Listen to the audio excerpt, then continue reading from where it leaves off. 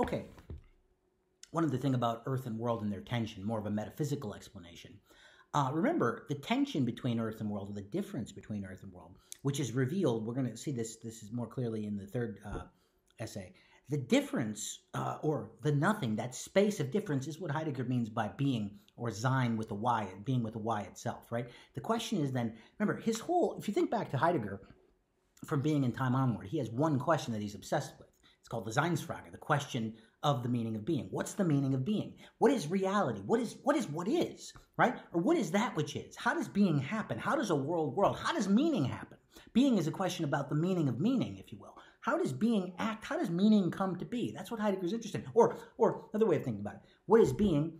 How does meaning come to be? Or why is being thinkable? Why is being intelligible? Why is it meaningful? How does that happen? How do we get a glimpse phenomenologically? Because he thinks metaphysics, of course, we've talked about this. Metaphysics reduces the meaning of being to one meaning, namely quiddity or whatness, essence, and it misses so much of what reality is, right? What about this other dimension, these other possibilities of what being is or what being means, right? So, how do we get that to phenomenologically disclose itself? Because Heidegger's phenomenological method, according to Being and Time, chap, uh, paragraph seven, is all about getting that which is to show itself.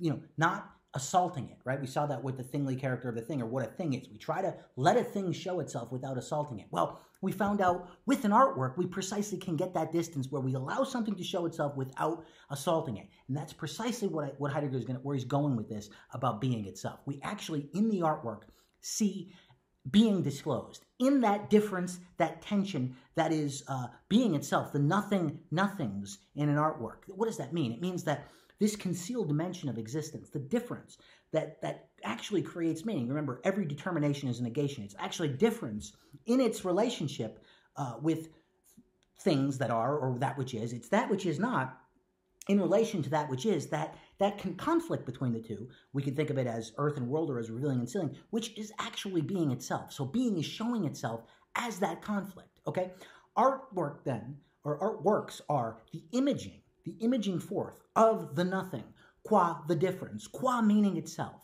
The nothing, that which is not, in conflict with that which is, shows itself in an artwork. And it's not a static process. So being then doesn't reveal itself as something static, as that which is or what is, but as becoming, as that which is dynamic, as that which is changing.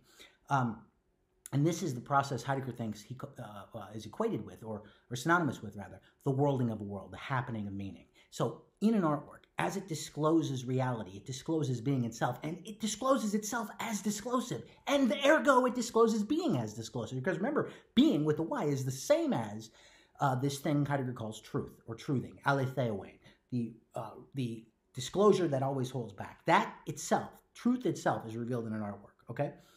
Um, and this will have a lot to do with the relationship uh, between what Heidegger will sometimes call an image and an original or we can think of as the particular and the universal, or um, uh, think of it as a thing and a form. Remember, artworks are mimetic. They're mimesis, right? They're they're imitations. They're representations. But now, interestingly enough, for Heidegger, now this will come full circle. Thinking back to the criticism of the Van Gogh shoes, artworks are representations of some original. They're images of some original, but in such a way that the image adds to the original or brings the original forth. It's not as though the original pre-exists for Heidegger and then you need something like a Platonic form, then you need a, a, particular to get it through.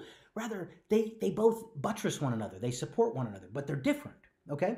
This, by the way, has a lot to do with the difference between uh, Heidegger and Plato, but also Heidegger and Nietzsche. Remember, Nietzsche get, says there is no original, they're just images. For, for Plato, it's top heavy on original. Heidegger's trying to bridge a gap between Plato and Nietzsche. We'll come back to this in the next video.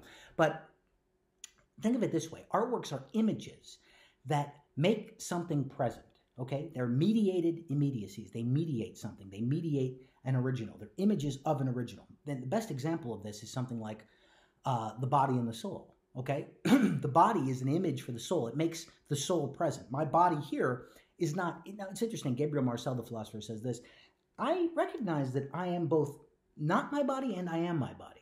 This doesn't i'm not reducible to my body but if someone were to touch me, I'd say, "Why'd you touch me?"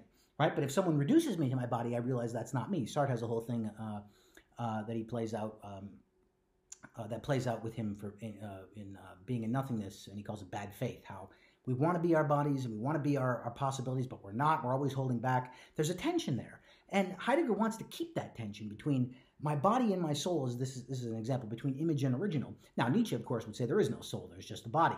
Plato would say the body is just a prison for the soul, which is top heavy. Heidegger wants to keep that tension. Now, body and soul is just an example of of something we're all familiar with to talk about what he's talking about in an artwork. Okay, so you want to think of uh, artworks as imaging forth this tension.